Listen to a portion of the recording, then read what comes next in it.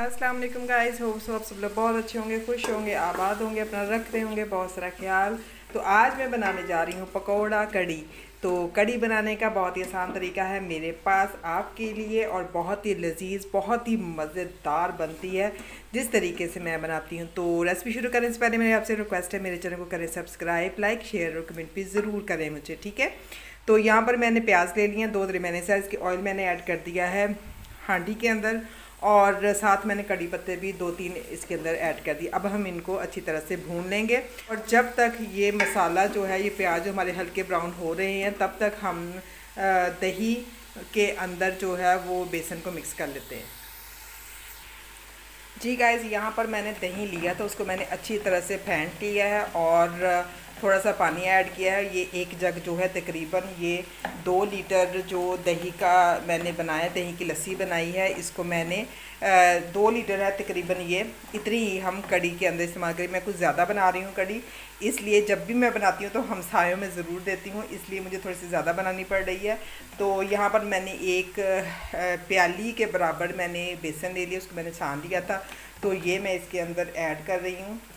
और इसको मैं कर दूँगी अच्छी तरह से मिक्स इस तरह करके हम इसको अच्छी तरह से मिक्स कर देंगे ताकि गुटलियाँ ना बने।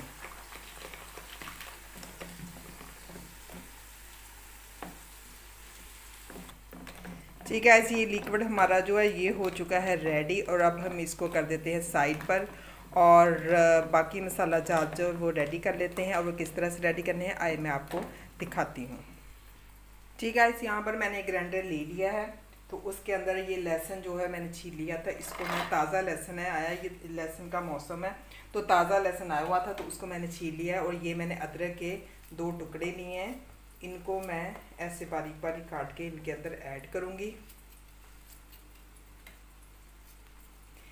अदरक को मैं फ्रीज़ करके रख लेती हूँ, बाज़ों का तो जो वो नहीं मिलता तो इस वजह से मैं फ्रीज़ करके रख लेती हूँ। ये जो है, यहाँ पर मैंने एक टमाटर लिया है, इसको भी मैं ग्राइंडर के अंदर मोटा मोटा काट के डाल दूँगी और इसके साथ ही मैंने एक पाव के करीब हरी मिर्चें ली हैं और वो भी मैं सारी की सारी ग्राइंडर के अंदर भर दूँगी। ठीक है ये सारी चीज़ें मैंने ग्राइंडर के अंदर डाल दी हैं और अब मैं इसके अंदर थोड़ा सा पानी ऐड करूँगी। थोड़ा सा मैंने लिया है पानी, तकरीबन आधा कप और इसमें मैंने ऐड कर दिया है। और अब हम इस सारी चीज़ों को कर लेंगे ग्रैंड ठीक है यहाँ पर हमारी दोनों चीज़ें हो चुकी हैं रेडी और अब हम चलते हैं अपनी हांडी की तरफ़, देखते हैं वहाँ क्या हालात है और उसके बाद तमाम मसाले जो मैंने ग्रैंड किए हैं, हम उसके अंदर ऐड कर देंगे। जी गाइज़ आप देख सकते हैं कि प्याज हमारे ब्राउन हो चुके हैं। अब हम इनके अंदर सारे मसाले जो हैं वो करेंगे ऐड ये हम इसके अंदर ऐड कर देते हैं। और अब हम इनको तकरीबन 15 मिनट के लिए अच्छी तरह से पका लेंगे। इसके साथ साथ मैं इसमें तमाम जो नमक वगैरह हैं, वो भी इसके अंदर ऐड कर देती हूँ। मैं कड़ी को ज़्यादा पका रही हूँ तो इसलिए मैंने यहाँ पर डेढ़ चम्मच भर के जो है वो नमक का ले लिया है।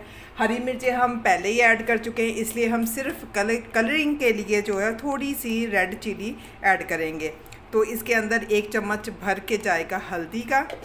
और और इसके साथ ही जो है वो हल्का सा टच देंगे हम रेड चिली का, पिसी हुई का, ताकि थोड़ा सा जो है वो इसका टेस्ट डेवलप हो जाए। और साथ ही कलरिंग भी इसकी अच्छी हो जाए। अब हम इन सबको कर देते हैं कवर तकरीबन 10 मिनट के लिए मीडियम फ्लेम पर और पकाते जाएँगे। जी गाइस मसाला हमारा भून चुका है।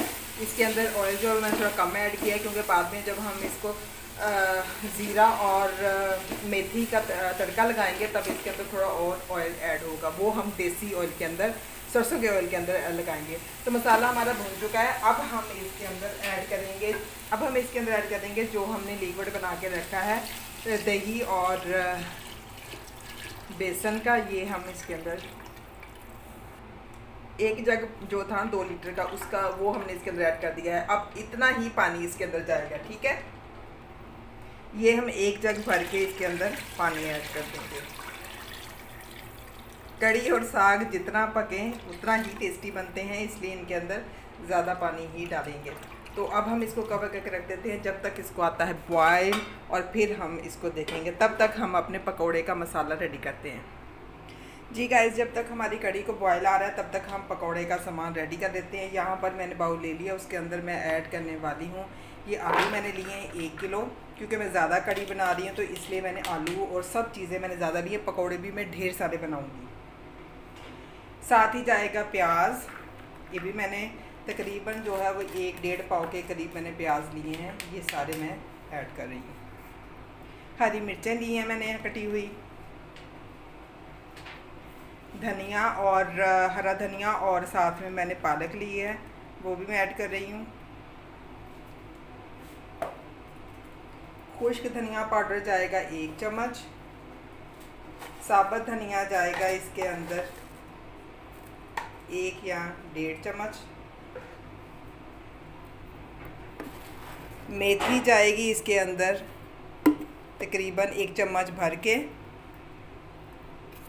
नमक लेंगे हम एक चम्मच भर के। लाल मिर्च हम लेंगे एक चम्मच भर के।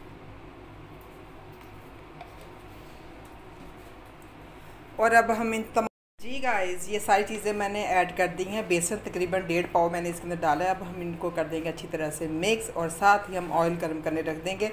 और जब तक हमारी कड़ी जो है बॉयल हो रही है, हम सारे पकौड़े निकाल लेंगे। थोड़ा सा हम इसके अंदर पानी ऐड करते जाएँगे और इसको अच्छी तरह से मिक्स कर लेंगे।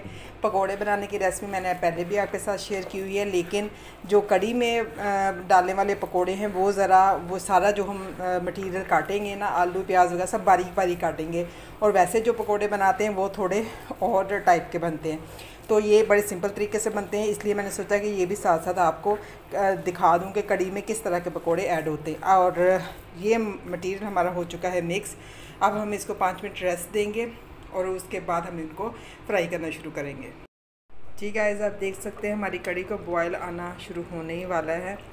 तो अब हम इसका थोड़ी देर के लिए वेट करते हैं और फिर जब ये तैयार होने वाली हो जाएगी, तब हम आपको दिखाएँगे। जी गाइस आप देख सकते हैं कि कड़ी को बॉयल आना शुरू हो चुका है, ये उबल के ऊपर आ रही है। यहाँ पर जो है कड़ी संभालनी बहुत मुश्किल होती है, क्योंकि जब ये उबलना शुरू हो जाती है तो फिर काफ़ी देर तक 10 मिनट तक ऐसे ही उबलती रहती है। तो इसको मुसलसल हिलाना पड़ता है और फिर पाँच दस मिनट के बाद ये बिल्कुल ठीक हो जाती है। बॉयल आना यानी कि आराम से उबलना शुरू हो जाती है। तो आप कड़ी को जितना ज़्यादा पतला करके पकाने के लिए रखेंगे, ये उतनी ही टेस्टी बनती है, ठीक है? बेसन ज़्यादा नहीं इसके अंदर ऐड करते। जो मैंने मकदार बताई है, बिल्कुल उसी मकदार के मुताबिक आपने अगर कम पकानी है, तब भी आप ऐड करें। अगर आपने ज़्यादा पकानी है, तब भी ऐड करें। तो कड़ी को हमारा जो है बॉयल आना शुरू हो गया है। मीडियम फ्लेम मैंने रखा हुआ है, कभी लो कर देती हूँ, कभी मीडियम कर देती हूँ, जब बॉयल ज़्यादा आता है।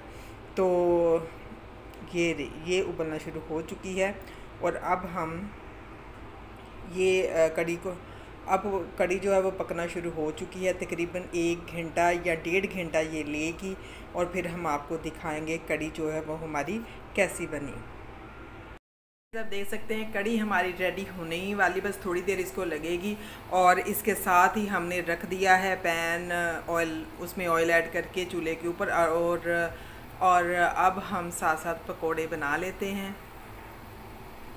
ठीक है यहाँ पर एक और ट्रिक आपको बताती चलो। कड़ी मैंने चेक की है तो इतनी खट्टी नहीं है। तो अगर आपकी कड़ी जो कम खट्टी हो तो उसका सही तरीका ये है कि आप इसमें थोड़ा सा लीमू का रस ऐड कर दें। उससे जो कड़ी है वो मज़ेदार भी बनती है, फ्लेवर भी अच्छा आता है और फिर खट्टी भी हो जाती है। तो यहाँ पर मैं ले रही हूँ लीमू का रस तकरीबन तीन चार चम्मच। ये मैंने इसके अंदर ऐड कर दिया है। तो अब इससे कड़ी का जायका भी बहुत अच्छा बन जाएगा और खट्टी भी बनेगी और मज़ा भी आएगा खाने में। तो ऑयल हमारा गर्म हो चुका है।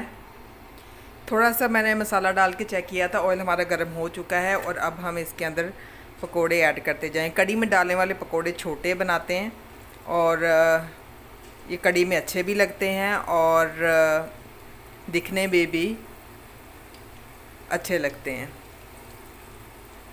तो इस तरह करके हम सारे पकोड़े इसके अंदर ऐड कर लेंगे। यहाँ पर आपने फ्लेम को मीडियम रखना है, मीडियम फ्लेम पे आपने इसको, जो जितने भी पकोड़े हैं उनको बनाना है। यहाँ पर सारे पकोड़े मैं एक एक करके जो है पलट लूँगी, आहिस्ता आहिस्ता। और फिर ये, और फिर जब ये लाइट ब्राउन हो जाएँगे, तब हम इनको निकालते जाएँगे। और इस तरह कर करके सारे पकोड़े हम निकाल लेंगे और फिर कड़ी की तरफ़ जाएँगे कि वो कड़ी जो हमारी कहाँ तक पहुँची। जी गाइस पकोड़े हमारे हो चुके हैं। अच्छी तरह से पक गए हैं। क्रिस्पी और क्रंची से बने हैं पकोड़े। ये हम टोकरी के अंदर निकालते जाएँगे। असली बेसन की पहचान ये है अगर आपको असली बेसन का नहीं पता चल रहा है कि असली बेसन कैसा होता है कड़ी मज़ेदार नहीं बनती पकौड़े मज़ेदार नहीं बनते तो असली बेसन की निशानी ये है कि असली बेसन अगर होगा तो पकौड़े भी नरम बनेंगे और कड़ी जो है वो वो भी जो है वो जायका उसका ज़बरदस्त होगा। तो असली पकौड़े जो आ, असली जो बेसन है उसके पकौड़े भी नरम बनते हैं। जी गाइज़ यहाँ पर कड़ी हमारी हो चुकी है बिल्कुल रेडी और अब हम इसको लगाएँगे ज़ीरे और मेथी का तड़का। तो अब मैं दिखाती हूँ, जितने पकोड़े मैंने इसके अंदर डालने के लिए बनाए हैं, वो भी सारे। और तड़का लगाते हुए भी अब आपको दिखाती हूँ कड़ी को कैसे तड़का लगाते हैं। उससे कड़ी का टेस्ट जो है वो डबल ट्रिपल हो जाता है। बहुत ही लजीज, बहुत ही जायकेदार बनती है। जी गाइस आप देख सकते हैं किस तरह मैंने टोकरी भर के जो है पकोड़ों की बना ली है। आप देख सकते हैं, ये सारे के सारे जाएँगे कड़ी के अंदर। थोड़े से हम रख लेंगे अफ्तारी के लिए और बाकी जो है वो हम सारे कड़ी के अंदर ऐड कर देंगे। तो चले चलते हैं और अब लगाते हैं कड़ी को तड़का। यहाँ पर ले लिया हमने छोटा सा पैन इसके अंदर हम थोड़ा सा करेंगे ज़ीरा एक चम्मच के बराबर ऐड और इसको हम लगाएँगे तड़का। हल्का सा तड़का लगाने के बाद इसके साथ ही जो है हम इसके अंदर, मैंने फ्लेम को यहाँ पर बिल्कुल मीडियम बल्कि लो ही रखा हुआ है क्योंकि अगर ये जल जाएगा तो फिर ये टेस्ट नहीं आएगा ज़ीरे का। तो इसलिए मैंने बिल्कुल लो फ्लेम पे आपने आपने भी लो फ्लेम पर इसको भून लेना है, ठीक है? तो ये पकना शुरू हो चुका है और इसके साथ ही हम इसके अंदर थोड़ी सी मेथी लेंगे और वो तकरीबन हल्का सा चम्मच मेथी का और वो भी इसके अंदर ऐड कर देंगे। हल्की से हिला लेंगे दोनों चीज़ें। ये तड़का हमारा तैयार हो चुका है, माशाल्लाह बहुत प्यारी खुशबू आ रही है। अब हम इसको ऐड करते हैं कड़ी के अंदर। ये हमने तड़का अपना जो है ये कड़ी के अंदर ऐड कर दिया है। कड़ी हमारी बिल्कुल रेडी है। अब हम इसके अंदर हल्का सा एक चम्मच गरम मसाला मिक्स जो है वो ऐड करेंगे। और इसके साथ ही हम इसके अंदर जो हमने पकोड़े बनाए हैं, जो हमने पकोड़े बनाए हैं, वो हम इसके अंदर ऐड करते जाएँगे। आहिस्ता आहिस्ता करने ज़्यादा पकोड़े हैं तो मैं आहिस्ता आहिस्ता इनके अंदर ऐड कर देती हूँ। फ्लेम को आपने बंद कर देना है यहाँ पर। ये ले जी, हमारी जो कड़ी है, वो हो चुकी है रेडी तो अब हम इसको करते हैं डिश आउट जी गाइस कड़ी हमारी रेडी है, बहुत ही टेस्टी बनी है और अब मैं इसके ऊपर धनिया हल्का सा लगाऊँगी और ये बहुत ही और ये बहुत ही टेस्टी बनी है। तो मुझे उम्मीद है मेरी आज की रेसिपी आपको बहुत पसंद आई होगी, इसके साथ ही मुझे दीजिए इजाज़त। खुश रहिए आबाद रहिए मुझे कमेंट ज़रूर किया करें और इसके साथ अल्लाह हाफिज़।